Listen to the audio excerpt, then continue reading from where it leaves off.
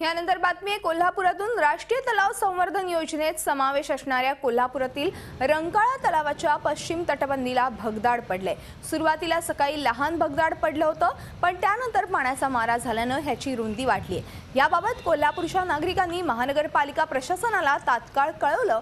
मात्र दिवसभर पालिकेचा कोणताही अधिकारी रंकाळ्याकडे फिरकलाच नाही. त्यामुळे महानगरपालिका प्रशासनाला रंकाळ्याचं सोयर सुतक नाही का असा प्रश्न विचारला जातोय.